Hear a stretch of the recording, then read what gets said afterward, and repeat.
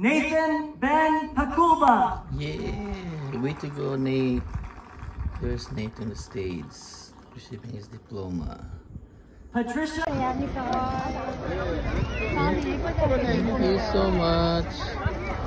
Congratulations to both. Yung classmate ni Nathan. Alright.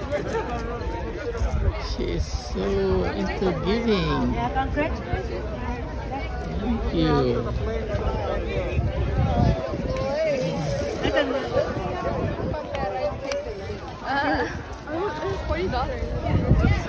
You, you only studied one year and you already graduate? That's not fair. I had to go to 12 years. A year and a